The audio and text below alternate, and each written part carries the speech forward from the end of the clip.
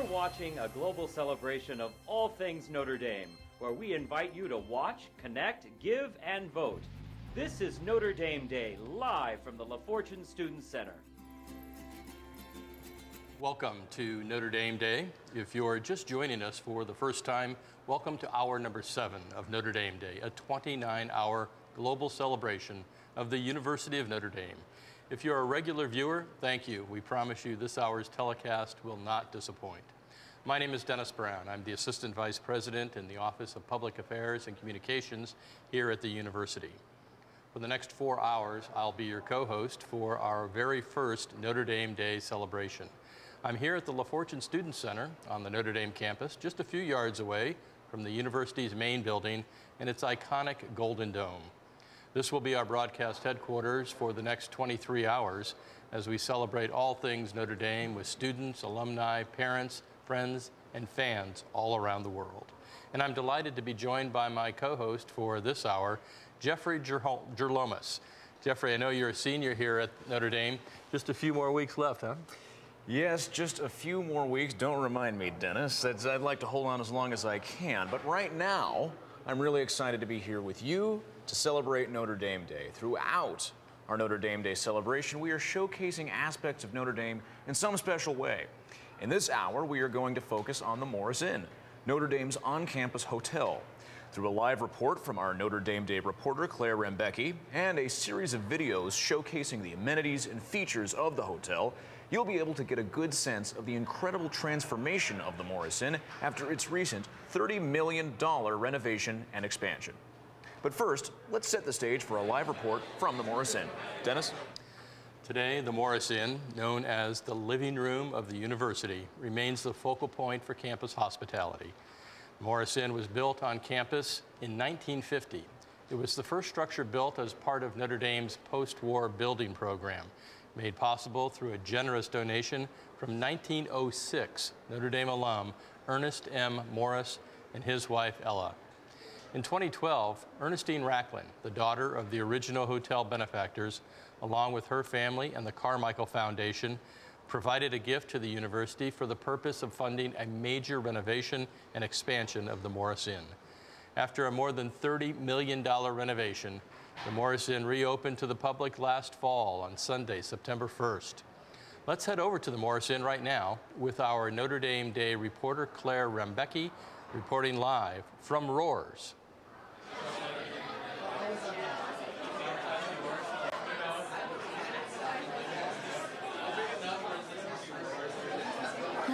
Thanks, Dennis, and welcome to the Morris, one of the great new additions to the Morris Inn. Rohr's has quickly become a campus favorite and a great gathering spot for students since it opened last fall.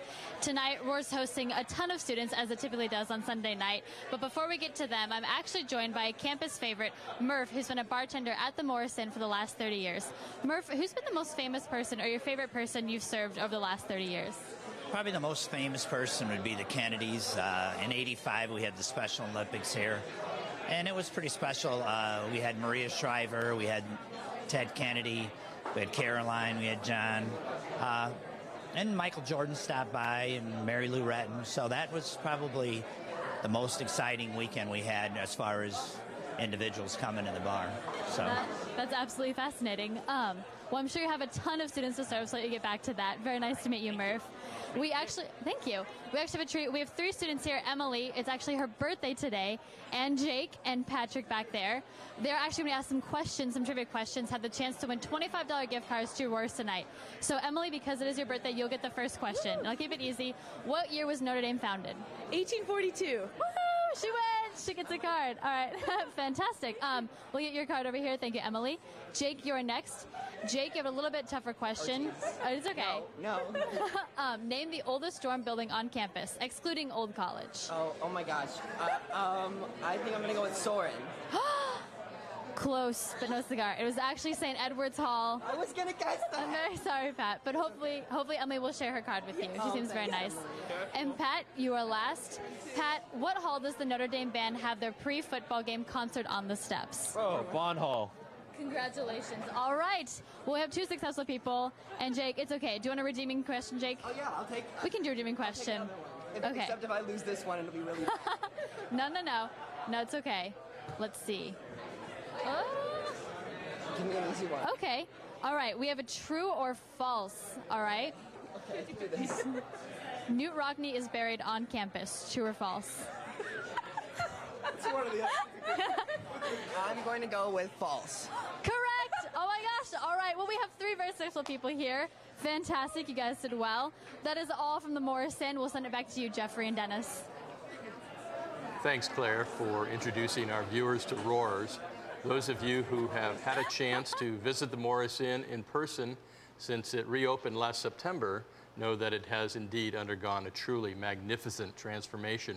You may also know that there's a great restaurant inside the Morris Inn. It's called Sorin's, and this winter the restaurant underwent a renovation and reopened in February on the occasion of the 200th anniversary of the birth of its namesake, Father Edward Sorin, the founder of the University of Notre Dame. Located right at the north end of Notre Dame Avenue, the Morris Inn is truly a Notre Dame tradition and truly a great hotel. For those of you who haven't had a chance to see it in person since its renovation, we thought you might enjoy watching this video about the dedication of the new Morris Inn.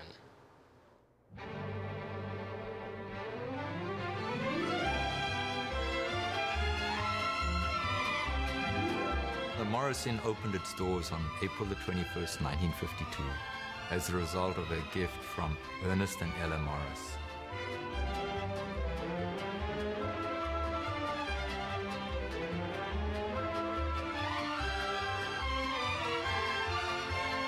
A single room cost $6 a night. And since then, the Morris Inn has continued to be the living room of Notre Dame. Good morning. Welcome to the Morris Inn. It's the heart of campus. It's the place where we do so much of our entertaining, whether it's a parent, whether it's an alumni, whether it's a distinguished guest. The Inn has such a wonderful tradition of hospitality and service. It's doing anything and everything that we can to make the guest experience fantastic. It's the place where we showcase what Notre Dame is about. Driving into work, seeing the Golden Dome. Every day I come in and see that, and I have a bigger picture of what I'm actually trying to accomplish. Excellence in service is basically the whole entire heart and soul of Notre Dame itself. Making sure that every single guest that walks through the doors of the Morris Inn is happy and content, and that they feel that same way, if not better, when they're leaving. making them feel secured and welcome. An experience that is so above and beyond the norm that they want to come back, and that creates that lasting loyalty that the Morris Inn and the university is all about. That tradition began and was a result of that $1 million gift from Ernest and Ella. And how wonderful it is that the gift of Ernestine and the family now allows us to continue that tradition for generations to come.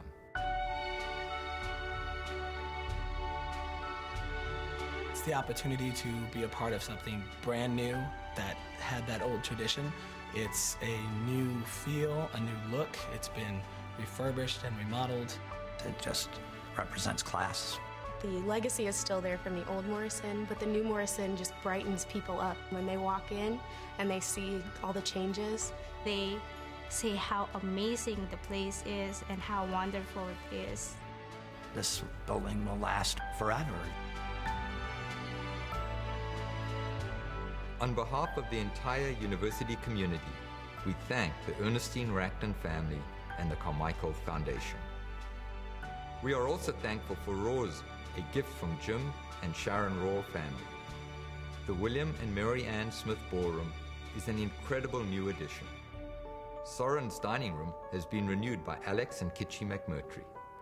The Wind family fireside terrace was underwritten by Larry and Cindy Wind. Notre Dame thanks all those who helped create the renewed Morris Inn. We're still the living room of the university. We look a little different. We are a more elegant living room now, but we're still home. We still get to be that welcome to a guest. Our challenge is to provide the level of service that they would expect at any great hotel, but then to cap it with that warm Notre Dame welcome and the smile that makes them feel, I'm home again.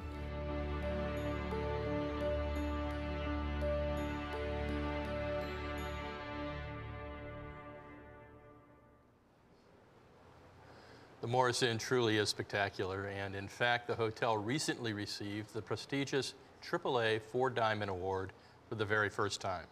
To qualify as a AAA Four Diamond Hotel, each hotel must undergo an intensive evaluation process that assesses the hotel cleanliness and condition, management and staff, exterior grounds, public areas, restrooms, corridors, ambiance and amenities, bathrooms and guest services.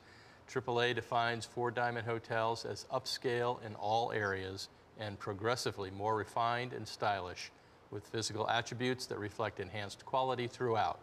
The fundamental hallmarks at this level include an extensive array of amenities combined with a high degree of hospitality, service, and attention to detail.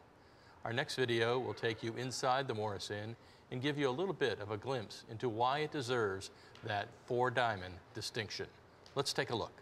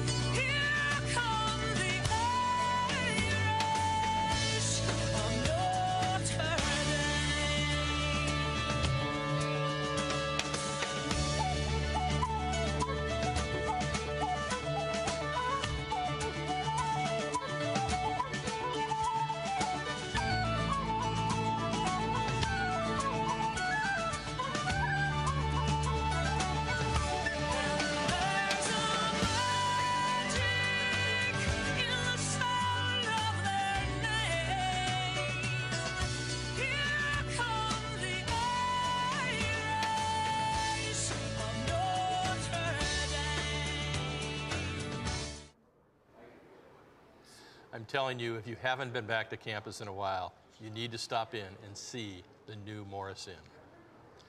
Notre Dame Day got underway nearly eight hours ago, so we thought now would be a good time to revisit some of the highlights of our broadcast so far. Let's go back to the beginning and start with a message from Father John Jenkins, the president of the university, explaining why April 27th was chosen as the date for this special celebration. Let's listen to Father Jenkins now. On April 27, 1879, Father Sorin returned to Notre Dame. He had returned many times to great fanfare, but this return was not so joyful. A devastating fire had destroyed the main building and several other structures, so Father Sorin returned to see the university in shambles. He gathered the dejected community in the Church of Sacred Heart. In the words of an eyewitness, he was a picture of confidence, dedication, and resolution. Even if we're all gone, he said, I would not give up.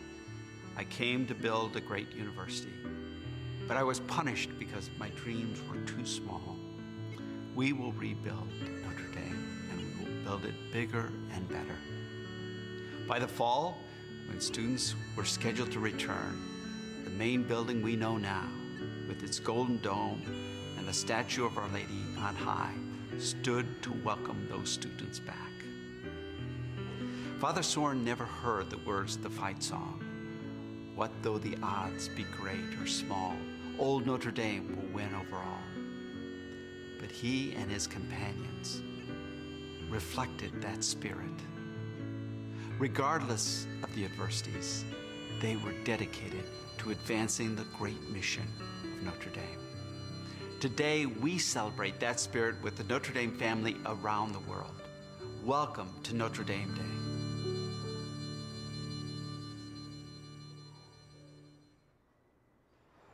There is not a writer in Hollywood, Dennis, who could come up with something better than the story of Notre Dame. Now, throughout our celebration of Notre Dame Day, we have been showcasing live entertainment by Notre Dame students and alumni. One of those alum, a proud member of the class of 2010, performed for us twice last night on our Notre Dame Day performance stage right here in the LaFortune Student Center. Singer-songwriter Pat McKillen earned a degree in finance from Notre Dame, but chose to pursue a career in music. He's well worth another listen, so let's watch this replay of one of Pat's performances last night.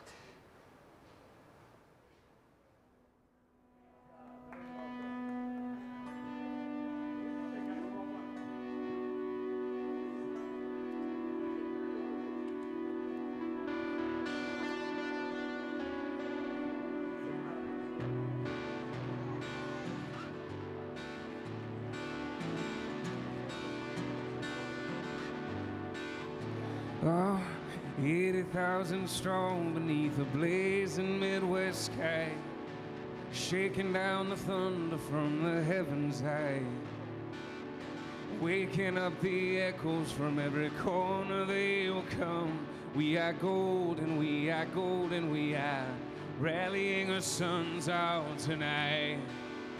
Hands are night and now wins our time. Stand by her side while her loyal sons are marching onward to victory.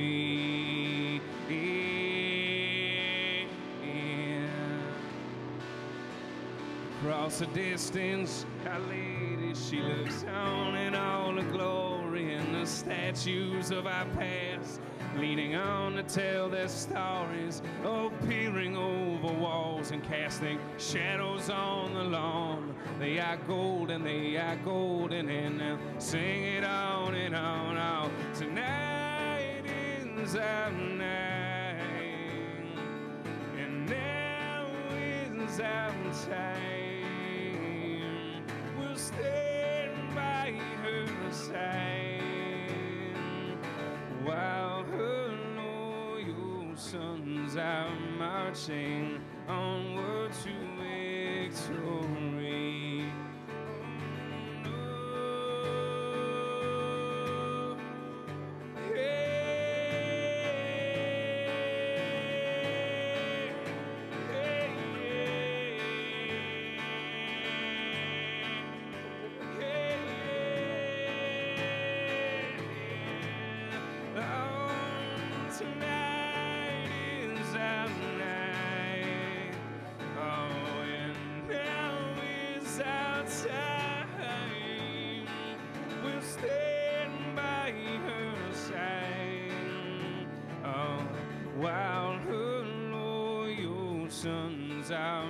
Marching onward to victory. While her loyal sons are marching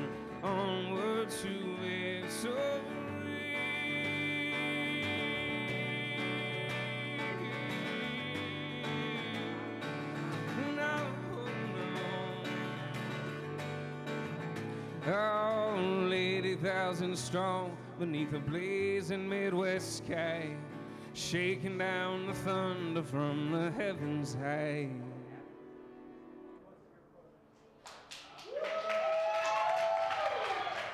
Before we wrap up our live telecast this hour, we're going to check in with Jeffrey Gerlomes at the Notre Dame Social Media Command Center. Jeffrey. Thank you, Dennis. I'm back here with Jonathan Retartha and Stephen Hill. And we're going to take another look not only at these fabulous hats, but also at some of our social media statistics from tonight, and, and well, more interesting things than statistics. Why don't you walk us through it, Jonathan? Thank you, Jeff. I'm John. This is Steve. Steve, why don't you tell everybody why we're wearing these hats? Uh, we're wearing these hats uh, in support of us getting a thousand uh, donors. To, waiting for a thousand. Need to get to a thousand gifts, folks, and we're going to keep these stupid hats on until we get there. Let's take a look at what's happening now. First of all, big thank you to everybody that's tuning in right now from around the globe. Huge thank you to everybody that's participated on Notre Dame. We can show you here on tab number two. The big green button, it's here. Notre Dame Day.nd.edu. Hit the green button. Make your gift and be presented with your three voting options. Uh, again, couldn't be any easier. We appreciate everybody who's participated so far.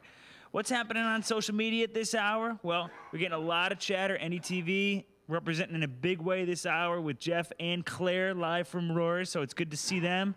And Farley Hall has laid down the gauntlet already for their challenge tomorrow. I believe it's in the 10 o'clock hour against BP. Beating BP tomorrow at 10 a.m. is the most important thing you will ever do as a Farley girl. So be there. I don't think I could put it any better myself. I mean, it's gonna it, it's gonna be intense, judging from the kind of uh, competitions that we saw earlier this evening. So starting to heat up. Uh, you know, we're we're doing well here. We're uh, we're having quarter dogs for sure all night long. Let's take a look at the leaderboard right now. I'll swivel my chair. Now, pointing this out here, big change recently. Colorado Springs is coming forth in a big way amongst our alumni clubs. They have 1.55% of the vote. Originally, it was San Jose Silicon Valley, and Boston was in the mix for a while. Colorado Springs dominating. Thanks to all you guys out there in Colorado Springs. Uh, it's still up for grabs, you know, still up for grabs amongst all the clubs. Finally, our total right now, let's get a refresh here. 933 grifts, over half a million dollars. Thanks so much to all of you. We're just getting started here, uh, Notre Dame Day. Uh, and like I said, the hats, they're staying on. We're going to get Jeff in a hat soon, too, until we get to a 1,000 votes, right, Jeff? What's next, Howard? Well, if we, hey, we can keep up that pace. We've raised $505,000 so far. Who's who knows what we can do in the remaining almost 23 hours of Notre Dame Day. Coming up at the 2 o'clock hour, we have a live visit to Stinson Remick Hall, Notre Dame's state of the art engineering building, and another visit from Erin Hoffman Harding, a Notre Dame alumna from the class of 1997. She sang, like I do, in the Notre Dame Liturgical Choir, so she's one of the good ones. She's the vice president for student affairs. She's going to talk to us about a very important and major aspect of life here at Notre Dame. We'll talk with Joe Rogers, who graduated from Notre Dame in 2010, was a great hockey goalie for the Fighting Irish.